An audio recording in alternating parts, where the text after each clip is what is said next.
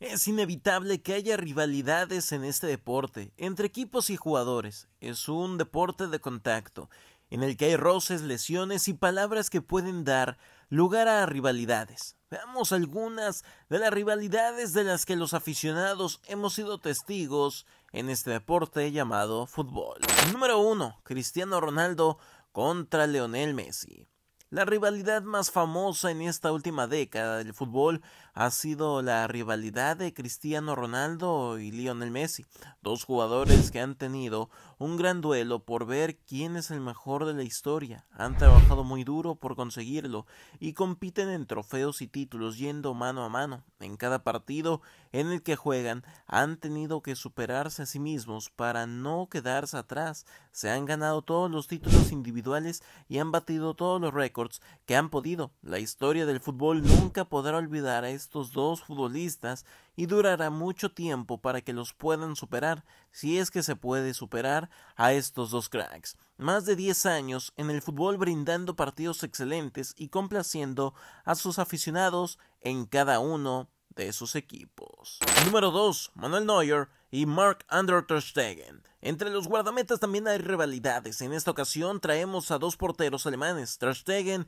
que es el guardameta del Barcelona y es un portero indiscutiblemente bueno, tanto así que ningún otro guardameta que ha pasado por el club ha podido superar. Pero en la selección alemana es diferente. La portería alemana la disputan Ter Stegen y Manuel Neuer. Neuer es un portero que da todo de sí en cada partido. Actualmente es una pieza fundamental para el Bayern Múnich en los títulos del equipo gracias a sus grandes atajadas. Y entre los dos jugadores cada vez que se enfrentan, Ter Stegen del Barcelona no ha salido muy bien parado. En algunas ocasiones ha habido declaraciones al respecto debido a la tensión que tienen los dos jugadores. Lo cierto es que Neuer apunta a ser el portero titular para Qatar 2022. Número 3. Frank Lampard ante Steven Gerrard. Fueron dos de los mejores jugadores centrocampistas de la historia de Inglaterra. Aunque colgaron las botas, siguen siendo recordados por el duelo que durante años nos hicieron disfrutar. Steven Gerrard estaba en el Liverpool y Frank Lampard en el Chelsea. Ambos lucharon por ser el mejor centrocampista de Inglaterra y capitanear a la selección. Cuando dejaron su carrera profesional, lo hicieron siendo símbolos de sus clubes. Número 4. Sergio Ramos contra Gerard Piqué. Son dos jugadores que se parecen bastante entre sí en lo futbolístico y en el carácter. En cada clásico la tensión era evidente y los dos jugadores lucharon arduamente por ser el mejor central de España, un duelo que comenzó en el Real Madrid y en Barcelona. Llegaron a atacarse por defender a sus respectivos equipos. Entre ellos hubo además polémicas y discusiones en los partidos. Ambos futbolistas jugaban para la selección española y por el bien del equipo han tenido que dejar esa rencilla fuera de la selección, aunque en un momento hubo que Sergio Ramos dijo a los periodistas que le preguntasen a Andaluz después de una pregunta que le hicieron a Piqué en catalán, aunque no se ha olvidado.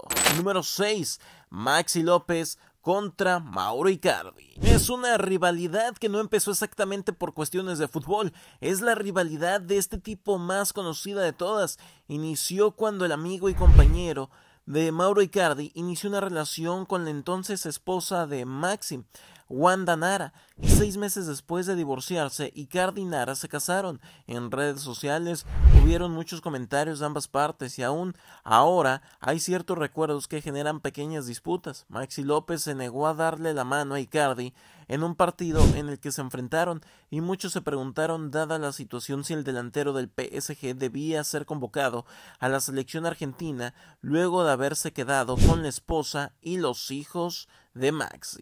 Número 7. José Mourinho contra Pep Guardiola. Los banquillos no se salvan de los enfrentamientos y uno de ellos es el de José Mourinho y Pep Guardiola. Su primer enfrentamiento fue en 2010, cuando el portugués estaba en el Inter y eliminó al Barcelona de la Champions League, y cuando Mourinho llegó al banquillo del Real Madrid, las cosas se pusieron de color rojo.